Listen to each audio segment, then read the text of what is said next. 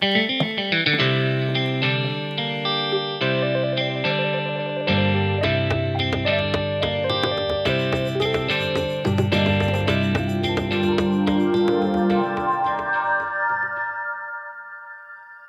everyone, and welcome to the Honor the Feminine podcast. I'm your host, Shannon Ledford, and today we have Kimberly Johnson with us, and I'm really excited to drop in with her. As you know, we start each episode with an image and story from my travels, because when I was traveling and out in the world is when I really started to hear my intuition again. When I got out of the day to day chaos and noise and expectations, I started to hear her whispers. I know she was always there, but she'd just gotten muffled. So today, our image is called Sensual Lineage. It was taken at Banteay Srei, Temples of Angkor in Cambodia. The intricately carved pink sandstone of Banteay Srei is touted as the artistic jewel of all of the temples of Angkor. From the outside, it appears very small and perhaps not worth the 30 kilometer tuk tuk journey, but the incredible carvings and stories told on its walls are well worth the voyage. The detail must have taken Khmer craftsmen endless hours to portray their reverence to sensuality. The craftsman's devotion to the sensual myths of Khmer history of the demons and the goddess could be felt. These are the preserved reminders, reminders of our global lineage of sensuality, and now is a time of deep remembering. This is the image that reminds me of our guest today, Kimberly Johnson. Kimberly, welcome. Thank you. Thanks for having me. Oh, I'm excited about it. So, share yourself with us. Tell us about you. Hmm. Me. How? Me. Which me? What? What part of me? what what you is on your heart most at the moment. I'm in love with your work, so you can talk about the beautiful service you do to the world with your work. Well, I'm really on fire about ushering women holding, you know, the proverbial lamp on the path towards full sexual expression. And to me, that means um, uninhibited, safe willingness to walk the resilient edge of resistance and question the scripts that we've inherited both personally and culturally and religiously and be able to claim not only our pleasure but actually you know, it's kind of to me it's beyond pleasure and beyond sovereignty. It's it's really like claiming authenticity, claiming a an unwillingness to perform, an unwillingness to bow to what we think we're supposed to be or what we think, you know, the relationships the, that we've formed that in some ways are inaccurate mirrors of who we really are and to continue to be radically honest with ourselves about what is true in our life at each moment. And so sexual engagement just happens to be one of those places where the unconscious is most available and you know it's it's more available in birth and death but since birth and death only happen a couple of times in our lifetime unless we choose like to be a doula and then we're in that birth space more often. Um, but sexuality and sexual intimacy is sort of the, in some ways, the most convenient, um, the most accessible, the most present, and therefore, to me, one of you know, and fascinating, and therefore the space that I like to encourage people to move into so that they can feel more of themselves. Yeah, it feels like that the sensuality and the sexuality like touches all areas of our lives and that as we've turned it off in some ways to, for whatever reason we die a little bit. Like we kill a little bit of ourselves. Mhm yeah. And it's you know i don't know if it's all the way dead or if if it's just you know ashes buried way far. And i always think of it as like sex is kind of like a suitcase and there's that stuff that's in that back pocket that always just like the dust that always stays there but it's still there. Um, you know but you never actually really clean it out that's there with like you know a dental floss and a lipstick that you're always like oh yeah that's where that lipstick is. Um, but for sure it's you know i tell everyone like get out of therapy and get into the bedroom or get in therapy with somebody who's going to teach you about touch because the place where we're at in our culture where we're just we're like worshipers of the mind and not the mind in the buddhist sense of a heart mind but we're like we're like brain worshipers and mm. um you know the feminine is about coming into the body is about you know honoring the body however it is and the wisdom that's in it like we think the body is just this thing that we can see and that you know carries us around but actually it is a microcosm of the whole universe and it's what we have to perceive through. And sure, our mind is interpreting some of that, but uh, eventually it's really our body that has the honest answers for us. And so, are you finding that the women that you work with don't feel safe? And is there a sense of shame around sensuality? Uh, yes to both of those questions. Um, safety almost always enters the space. Uh, it's inevitable as a woman in the culture that we live in. And just because we feel safe with one person in one place one day doesn't mean the next day we're going to feel safe. Um, when we push into the resilient edge of resistance, which is just at the edge of our comfort zone, into something that is maybe the reason that it's erotic is because it seems slightly dangerous or threatening and there will be points where we're expanding our bandwidth of activation, like just an amount of arousal, even in a positive direction, that registers as threat to our system. It's going beyond what we have accommodated before, and therefore will stretch us if it's well dosed. Um, but every, I mean, uh, I do internal pelvic floor work, and large parts of my sessions are sometimes I never even like a person never even takes off their clothes because creating safety and on every level like maybe mentally they feel safe because their best friend came to see me and then they listen to my podcast but their body does not feel safe and it's evident to both of us their legs are trembling or they're dissociated and there's earlier experiences that are arising just in the space of hmm. an intimate exchange even though i work in general outside of an arousal context you know, how many how many pap smears have women had that were really uncomfortable and unpleasant, like abortions, miscarriages, gynecological procedures. And so you come into a space where you're trusting someone that you don't know with the most intimate part of your body. Safety is going to be number one. And uh, it doesn't always, people will say, well, you know, I didn't have any sexual abuse or I didn't have this. Yeah, but we live in a society that we, it's like, I say this all the time. Like we live in gravity on Earth. We live in a gravitational field, and we don't know what it would like be like to be outside of gravity unless we were an astronaut. So we've never had an experience outside of gravity.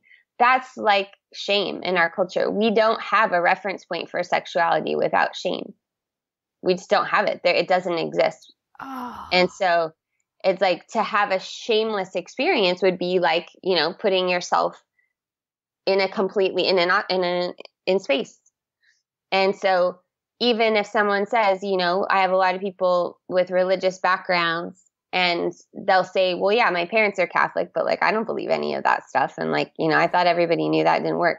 Yet their body is still not opening or they're still not having experiences that they want to have, have because the shame is in their body.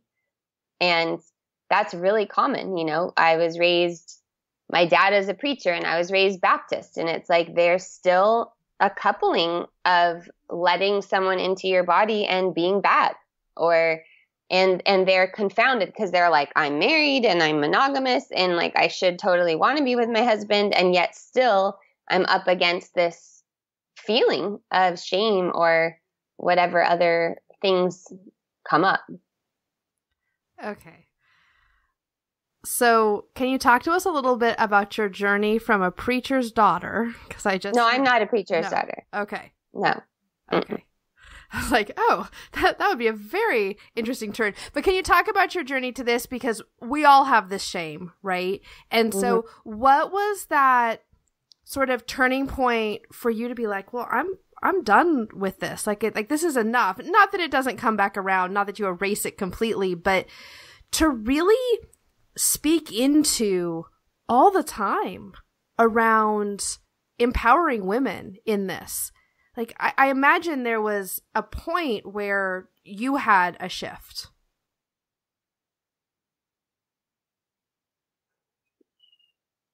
Like, are you asking when I had a shift where I felt empowered and safe enough myself to speak out about my sexuality and my views about sex? Yeah, like, yeah. I, I guess I'm just trying to feel into, um, for those women that are listening, that, um, that that all of the the shame and the feeling unsafe mm-hmm. is up right like did you have a time in your life that felt like that and and what were those first things that started to shift so i everything that i've ever done in my life like every let's say profession or calling or however you want to look at it both of those things i've always i've always offered that which gave me the most healing so okay. my sexual life started off, my first real sexual experience was sexual assault. And so right at that time and and I before that time I was I in high school I never had any boyfriends or dates. I was um, I grew up in Southern California where everyone's blonde and beach bodies and um, I have red hair, freckles, and I'm just like not a typical Southern Californian. And I was really, I'm really smart. So I was like always really smart. And, and I actually, because of some earlier childhood experiences where I skipped a grade in school and I ended up very young in the classes I was in, I, my mind was my refuge because it was safer for me to be uh-huh. smart and to, to be like a teacher's pet than it was to have friends because I was six years old in a class with eight and nine year olds and I just wasn't relating to it and I didn't know how to interact with them. So, really early on, I learned that I got a lot of praise for being really smart and my mind felt like a safer place to be than my body or my heart because my heart was kind of getting broken by wanting friends and not being able to make friends easily and just feeling out of place, basically. Just like, you know, even when I was in high school, I graduated from high school when I was 16 and I went to college at 17. You know, some of the guys in my class were like 19. So when I started high school, I was 14. My best friends were all like 16 and 17. And I remember like they would be like, oh, I have a crush on so and so. And I would just kind of go along with the crushes that they had because I was like, I don't even really know if I have a crush on anyone. Like, I didn't even, it was like I just was out of sync. Yeah. So when I got to college, I went to school on the East Coast, and all of a sudden, I was like, I had three guys ask me out the first week of college, and I'd never been asked out even one time on a date before.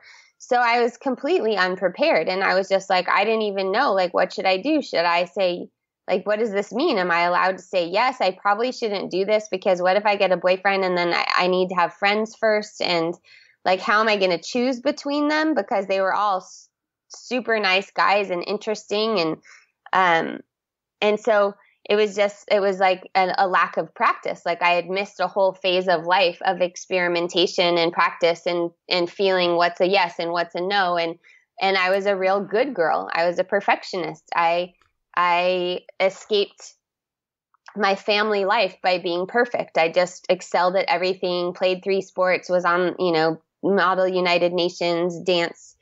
And so i wasn't prepared for relationship and negotiating ba- boundaries and I really had a belief that like if you did the right thing and you were good that the right thing would happen. So when I was assaulted my world turned upside down and I realized like I didn't understand like I felt like I was a good person like why would why would such a bad thing happen to me? And from there I the next you know, I went on to have some relationships, and my relationships were usually screwed up because I always really wanted a baby since I was like 16. And so every person I got in relationship with, I all I really was interested in was knowing like were they going to be the one that was going to give me the baby. And now I realize it was also because I had a lot of attachment issues that I wasn't aware of mm. that and I was and like that meant security and that meant foundation to me, but of course it ruined every relationship because right away that was already kind of even energetically just coming into play. And then I eventually had a baby and my pelvic floor got completely torn and I was already a yoga teacher and a body worker for a long time and I found myself in a situation where I had no idea how to heal myself and I was told I needed surgery and I knew that I didn't want surgery which is why I'd had a home birth in the first place and I started to realize I separated from my daughter, daughter's father like how am I going to have an erotic life and be a single parent? Like, I don't have time to date. I don't have money for a babysitter. I am a mo- mother to a daughter, and this part of me is very important to me. And so, like, how am I going to do that? And then I just started experimenting and started um, really looking at because when I had a baby, I realized I was 32 and I realized at the time I took a real risk on the partner. Like I wasn't sure the partnership was going to work out, but I knew I wanted the baby. And so I started looking at relationship like, well, what am I looking for? Am I looking for attachment? Am I looking for pleasure? Am I looking for connection? Am I looking for emotional support? Am I looking for sex? And kind of getting really specific about what those things were. And then as I started to talk to other women and I started doing the internal pelvic floor work because that's how I healed myself. Uh-huh. I just, people just started, you know, when you're in the territory and you're actually touching someone in the, in their vagina and vulva, just people just start telling their stories and it, and it's heartbreaking. It's heartbreaking to hear how little education we have, how many expectations there are. It's like the blind leading the blind, you know, like everyone's got all of these programs running that are unconscious and that they're not content with, but they feel they have to do. And I just was like, along that way, constructing my own erotic identity. And then it, I guess it was maybe two years ago. I mean, I only said like uh, just recently, maybe four months ago, I was teaching a workshop, and at the end, I just felt really moved to to share that it's possible to have your full sexual expression. And I know that because I have it. And I just felt like I needed to say that because I needed people to know that I, like, I've emerged from that predator prey dynamic. I'm not afraid of men anymore. I'm not afraid of being in a room with sexual energy and sexual arousal. And I know that I can hold my own and I know what my boundaries are and I can I can protect myself or ask for protection if I need it. And I realized that that is so far away from what most people's experiences are, even if they haven't had what they're considering to be abuse, that I needed to start talking about it more and more because it's a silent epidemic. It's a silent epidemic of people that are in complicit in dynamics that are not life enhancing that are causing them suffering. Some people are just in flat out pain. They're having terribly painful sex because they think that that is, they think their partner wants that thing. And then I say to them, but do they know how much pain you're in? And they're like, no. And I'm like, and if you ask them, do they want this? Even if you are in excruciating pain, do you, what do you think they would say? And they say, I don't think they'd want it. And it's like, well, then you need to stop doing it.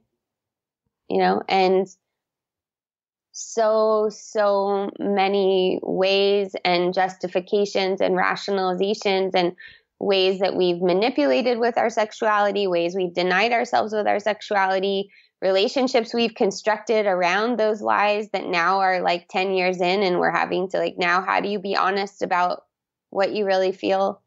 Mm-hmm. And and I know that, you know, in a country where one out of seven people, women is being diagnosed with postpartum depression and something really fucking crazy, like one in 10 doctor's visits of any kind are for are result in antidepressants. That means like you go to the doctor because you've got like an anal fissure and they're like, here's an antidepressant. Or you go because you've got like, you know, a, skin thing on your back and they're like, here's an antidepressant. I know it's directly related because we're so distanced from this basic bodily and I'm not even going to call it a need because actually sex is not a basic human need. Sexual expression is a basic human need but we're so distant just from these base level desires. When I just ask somebody, like, what do you want? Like, what do you really want? What does your body want? Sometimes people just sit in my office and cry for 40 minutes because they just they don't even know. They they can't imagine what it is that they want if they just have to choose something that's for themselves. Whew. Yeah. And it's all starting with that disconnect from our bodies and the messages that are so I mean our bodies are so smart. and you're right. And I've I can really relate to that like being in your head and losing all the rest. And so my journey over the last few years has been first to my heart and now to my womb space. You know, to where there's that part that um the shadow of that has felt um unsafe or mm-hmm. um or that old story around but if i'm enlightened and spiritual i want to just be in the light right and not in the in the darkness and my womb's about the shadow and i'm i'm i've gotten so much medicine and beautiful lessons from that over the mm. last mm. you know year and a half or so in my experience, the people who are really drawn to spirituality, especially women, are it's a direct correlate to trauma. It's a much safer place to be, and it feels unsafe to be in the pelvis and to be in the body. And so it's a bypass. And so if you just go into spirituality, then we don't have to deal with both our personal experiences because our pelvis is holding every every experience that we've ever had. And then it's also holding the collective. And let's face it, like on a collective level, it's not going that well right now for women and worldwide. And like, look at our world leadership. Like in Brazil, there was a female president. She just got impeached. And now there's like a super ultra conservative, all white cabinet, even though it's a 52, a nation with 52% African derived people. We have our mm. president here we have you know i mean it's like worldwide there's a big backlash and so we have access as women to that collective condition and and and we also have impact over it. So the extent to which we're able to go in there and transmute and alchemize is also the extent to which that's rippling out. Yeah. Oh yeah. That's beautiful. Um, can we speak into a little bit about postpartum? Because um, I've spoken a little bit on the podcast around the the new normal of everything of my body, of the sex life with my husband, of that bringing up the some of the the shame and stuff that I was holding and continue to work through around my sensuality. Mhm. So, postpartum is a very special time where every layer of ourselves is very porous. So, what we take in oftentimes stays in, and we have to be very conscientious and protective. I mean, ideally, we would be protected instead of have to protect. Um, same with the birth space but that's not really what's happening right now in our mm. culture. Um, the idea with postpartum, and first of all, like also, I'm really the most people are using the word postpartum as synonymous with depression these days. Like, oh, did you have postpartum? Oh, yeah, my so and so had postpartum. Oh, it just is the time after you have a baby, you know. And and as far as I'm concerned, postpartum depression is not a mental health problem, a women's mental health problem. Postpartum depression is a cultural deficit. It's a it's a it's a sign of an unhealthy society where we are not working together collectively to support new life. And we are not recognizing the interconnectedness and the preciousness of not just a baby's life, but a mother's life. And that taking care of a mother when she has a new baby means taking care of relationships, means taking care of families, and means taking care of our planet. And if we don't get in right relationship with that, we're going to see more and more women being depressed because that depression is coming from depletion. It's coming, a lot of women are, are um, experiencing autoimmune conditions that are arising after having children because they're getting pushed over the threshold.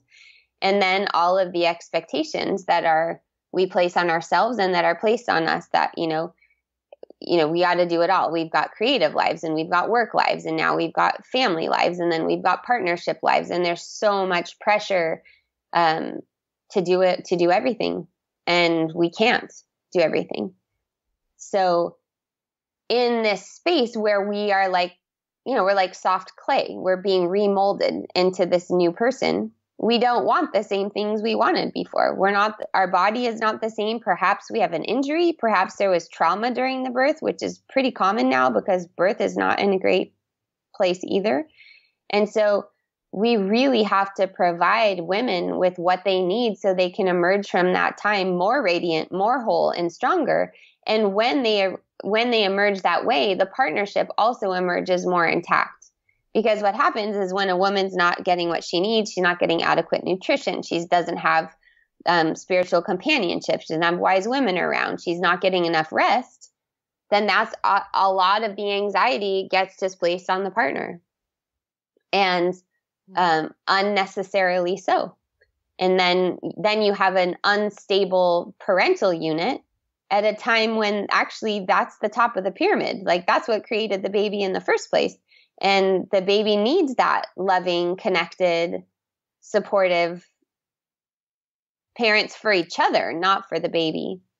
So it requires a different way of, you know, the the mother as martyr is just such a strong archetype for us. And that means sacrifice everything, sacrifice your bodies, you know, feed the baby first, like take care of everybody else. And it tends to be like that's I see it so much because I'm working in people's pelvic floor. It's like people will be like, "Oh yeah, I've been incontinent for you know I've been wetting my pants for two years and like I've I've had sex four times and it's super painful," but it hasn't even like come to the surface enough for them to know they should address it because it's just getting pushed to the side while they're in survival mode with everything else. We're going to take a sacred pause right here and drop into visioning for just a moment. Ava and I did a bonus episode recently on visioning and why it's become so important to us around setting up a structure that we can flow into in the coming year.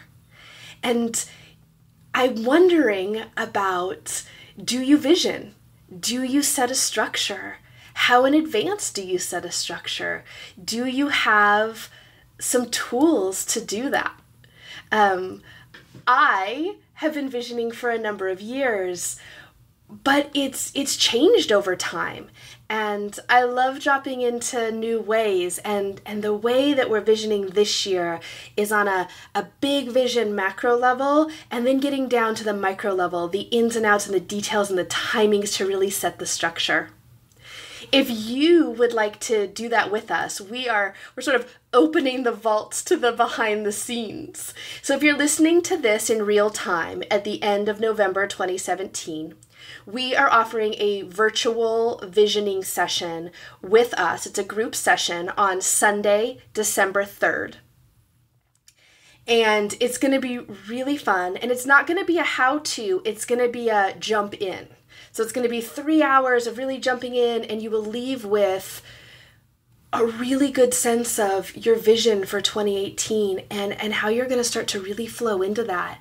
And for me, that creates enthusiasm, and it's been really, really fun. So if that sounds exciting to you, if you want to ignite your vision for 2018, I invite you to come over to rememberingdivineunion.com and sign up to join us.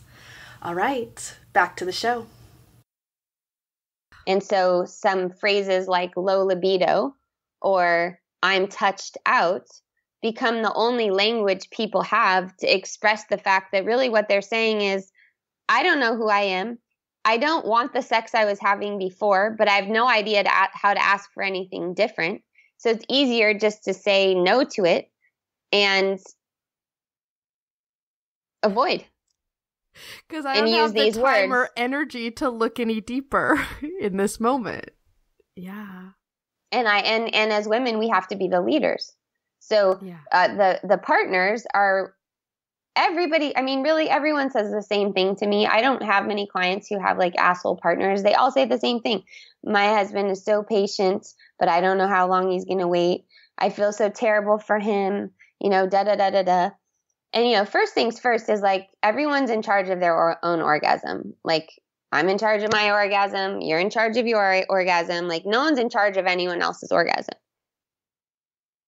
But also, women really need to sit with the question of what kind of sex is nourishing, what will give them the energy that they want. Not I'm exhausted or I'm touched out. Yeah, but you know, when you first met your partner, you could have been exhausted, but you'd miss work, you'd stay up all night, you'd do all kinds of things so that you could have more sex. Well, for a lot of people, I mean, not everybody, but you know. Um, so, what is the kind of touch that you want that would make you feel excited and would make you feel like you have energy for your day and you have an image in your mind that you can go back to and, you know, putting some attention into that rather than everything you don't want. Because that's our conditioning. I don't want this. No, no, no. But like, what's a yes? And most women say, well, I don't want to say that because if I say, well, okay, I want my head rubbed, then he's going to think that that's going to go somewhere. And then that pressure already kills it for me. Or like, I don't want a back rub because then he's going to get a hard on and then I'm going to feel bad and da da da. But again, we have to like rein it in and take responsibility for our own experience and what we what we really do want and being honest about that. I love the reframe of what would be nourishing, like what would feel nourishing, and the space and permission to ask that question. You know, in this, in the arena of sex, where Mhm. we may be asking that in other, in other ways, right? Like, oh, what kind of self care can I, can I do or can I carve out time for? But we miss it in this arena a lot. And I would suggest that this is a better place to start because getting a manicure and, you know, whatever else people are doing that's self care, it's not going to touch the amount of satisfaction you're going to get out of a genuine connection with your partner.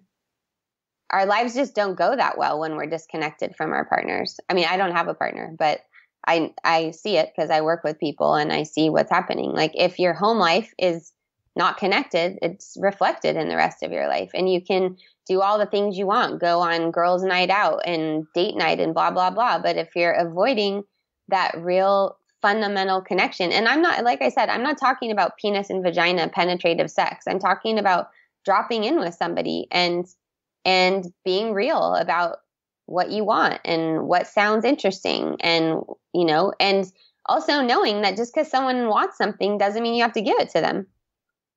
I want this, and you okay, interesting. And then the other person says, I want that, and then both of you might not want what either of the other of you want, but at least you've actually checked in and found something that you want and had the courage to express it. God, it's so good. And and you're right. I mean, I can I can feel in my marriage there are um there's also this this ebb and flow of connection some like there are times when we feel much more connected and then there's times Mhm. when we feel a little less connected. And if that little less connected goes on for too long, I I'm the first to voice, "Hey, I'm feeling super disconnected. Like we can we do something here? Like can we Mhm. feel into this together?" Yeah, and I love the way you're saying that because it's just your own experience. You're not blaming, you're not saying, you know, and you're not like, it's not moral. It's just like, this is how I'm feeling. And this is something for us to look at together. Like, that's what I say about the sex question, too. Like, I think at some point, every new parents are going to say something like, I don't know how to do sex anymore. I don't know what it looks like, but can we explore this together? What are your ideas? Oh, what are your ideas? What do you think might be interesting? What do you think might be interesting? You know, it's have to be an open conversation. Yeah. It's not one person's job and that's that's the thing though. As women, we just take on so much responsibility. So we think it's there we think there's something wrong with us because we don't want what we wanted before. So there's the shame about that. And then for some women, body image plays huge into this. And so they're like, oh, they don't think they're attractive because of this or this or this. And then they just are getting more and more distant from being able to just have an unhindered expressive experience. Mm-hmm. Um, but at some point, it's like just naming, like, I don't know how to do this. You know? Yeah.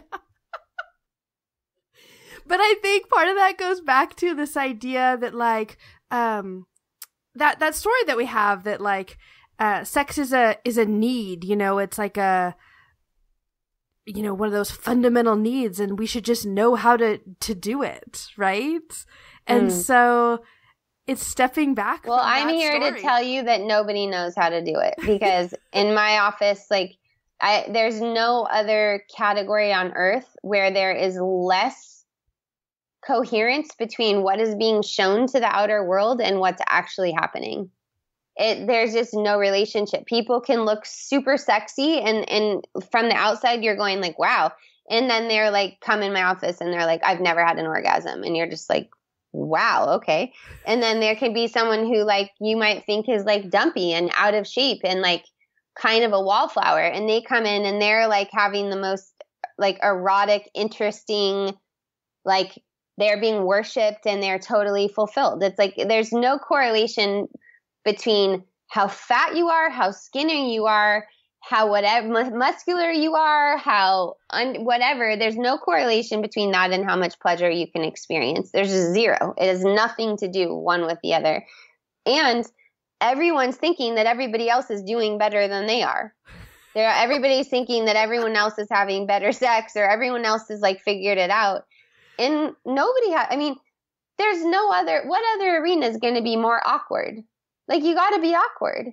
You got to be willing to just like when you try like anal sex. You got to be awkward. Like you got to slow it down and you've got to like narrate how you're feeling and tell the other person micro adjustments so that it can be pleasurable. Well, that's all. I mean, people you feel awkward because mm, mm, I think men more than women feel performance anxiety. Like they should know how to do it. Plus, most of them are watching a lot of imagery of how to do it, and so they would think, well, I should know because I've watched it. But that has nothing to do with actually being with another human. And every layer of our magnificence. I mean, it's not like we're not just having a sexual experience with our body, we're having it with every layer of ourselves. So there's all kinds of imagery, sensation, memories, everything that comes into play with it. Hmm.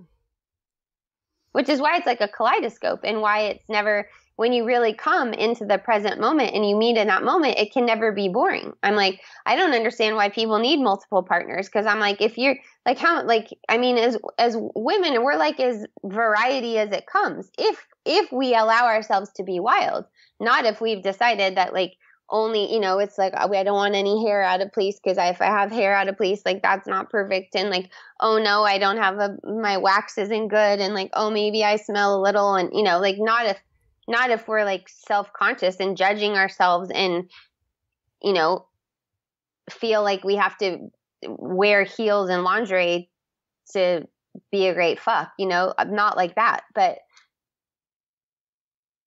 we have access like you're saying you know we have access to the high goddesses and we have access to the dark goddesses and we have access to all of those archetypes within our sexuality and that's the fun of it.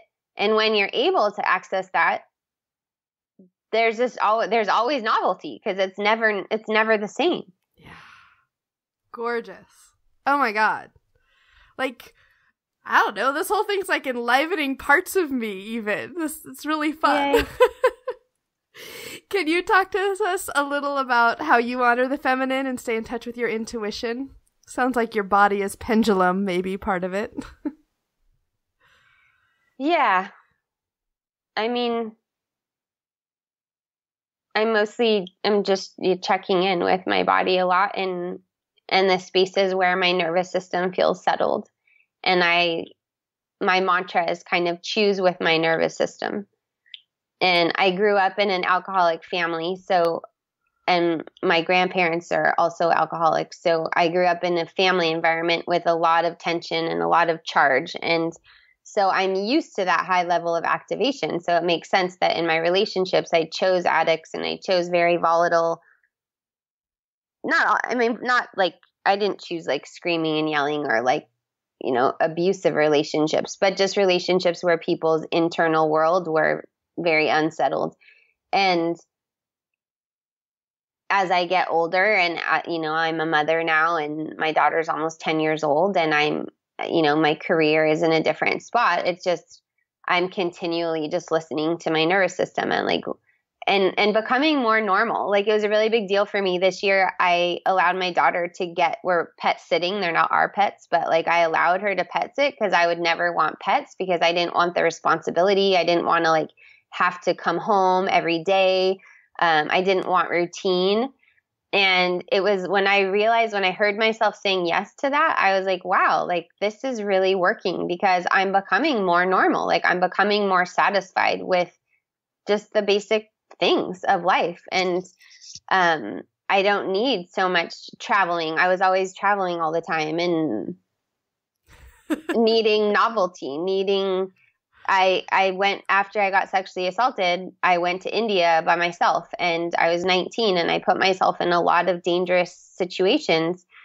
And my intention of going by myself was so that I could prove to myself I could protect myself, but at the same time, I also was attracting really dangerous situations and luckily I never got reassaulted, but I had a lot of close calls that just weren't necessary.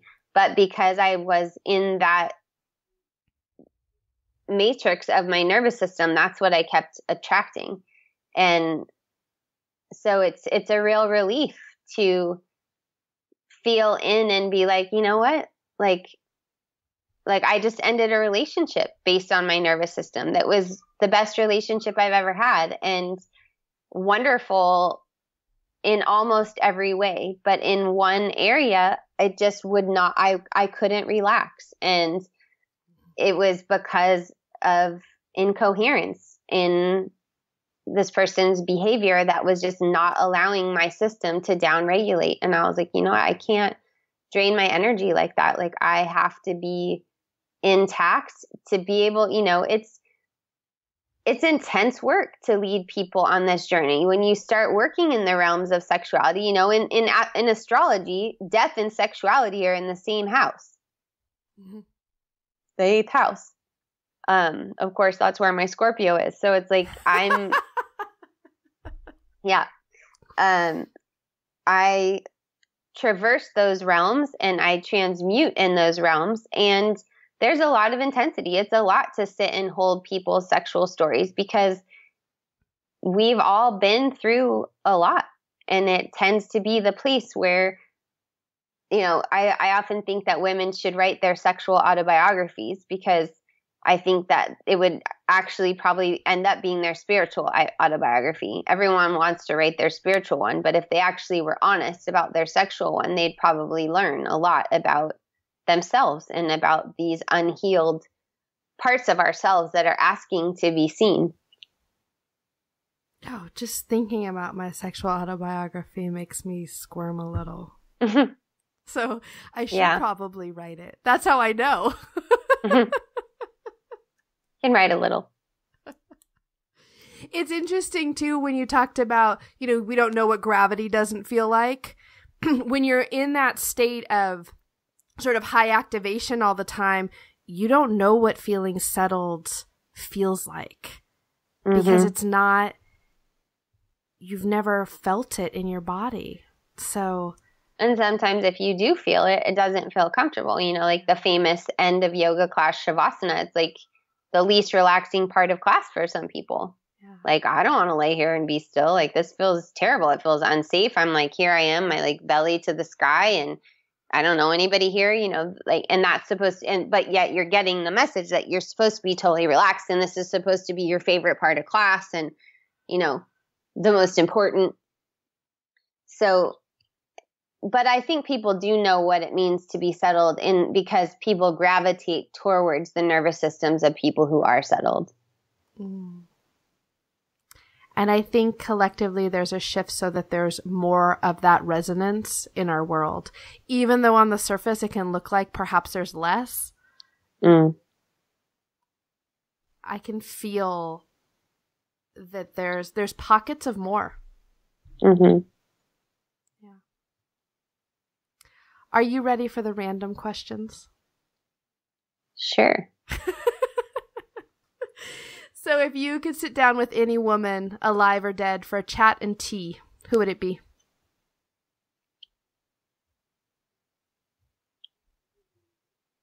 Hmm.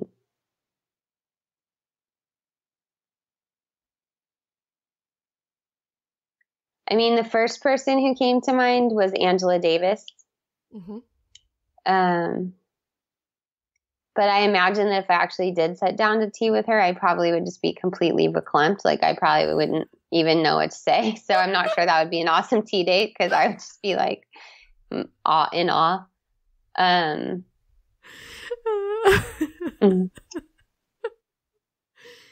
Sometimes with women that are powerful or, you know, that, that have that effect on us, it's just being in their presence that matters, you know? Yeah.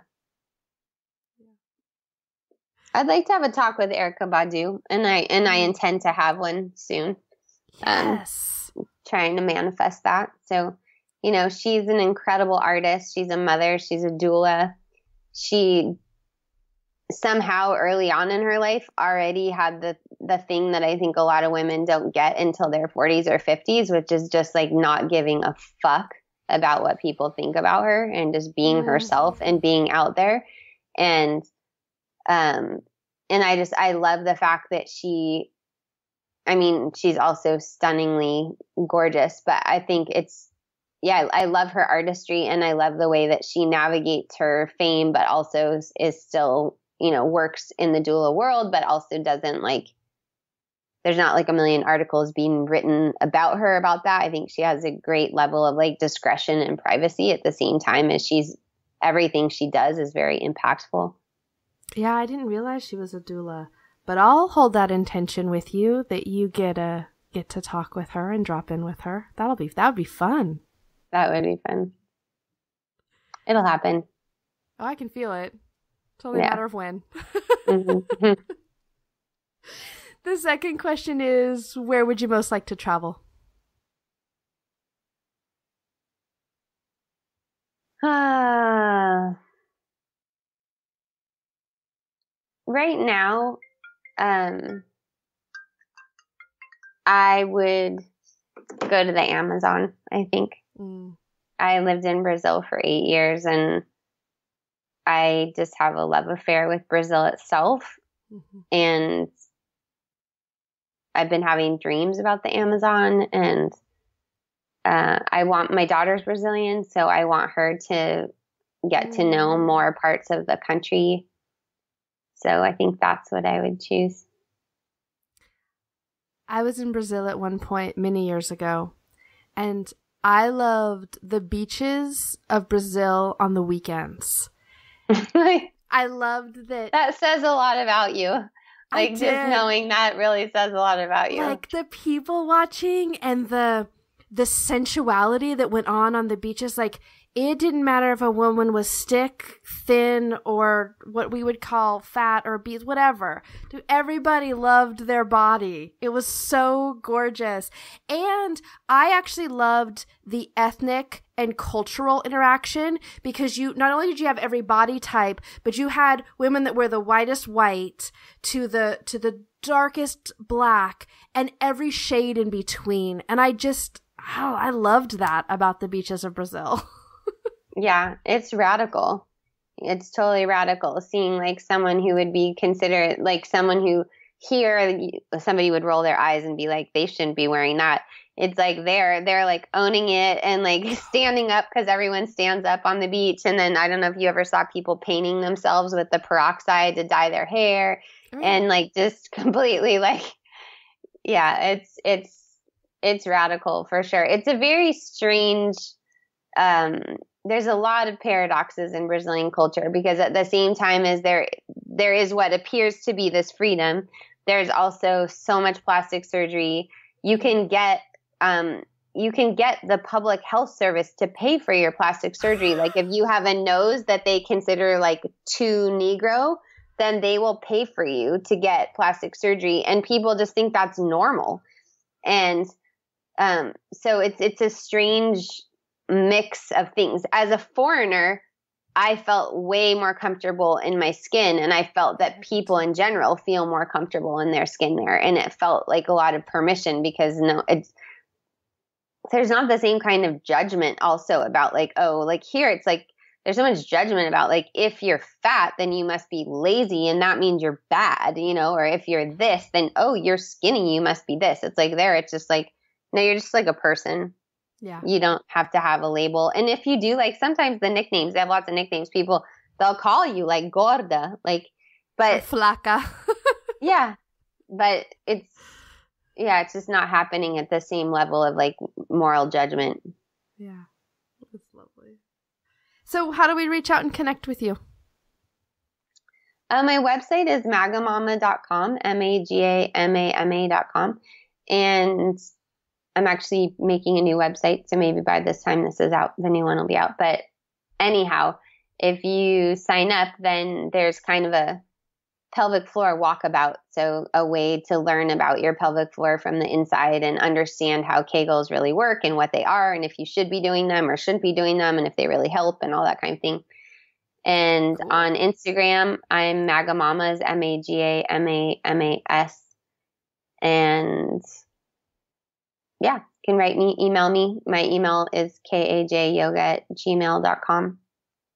And we will put all of that in the show notes for this episode over at honorthefeminine.com so people have a really easy way to get in contact with you. And tell us about the book that's coming out in fall 2017. The book is called The Fourth Trimester A Postpartum Guide to Healing Your Body, Balancing Your Emotions, and Restoring Your Vitality. And what I love about it is that in one place, there's information on anatomy, like what your pelvic floor is and how it works, which normally you would only read about in like an anatomy book, which no one would read unless they're like a yoga nerd or whatever, like me. My um, husband's an anatomy professor. oh, wow. Cool. so he cool. has. so he's read about it. Yeah, that's good. And then, but even, you know, the anatomy books don't have proper female sexual anatomy. But anyway, uh, that's another topic. And there's chapters on relating and how to approach conversations with sexuality and intimacy post birth. Mm. There is information on identity and like just mother identity and discovering the mother we are. There's a part on spirituality and the journey of motherhood as a spiritual path. So it's it's just really exciting to have all of that in one place, um, and information about Chinese medicine and Ayurvedic views on postpartum.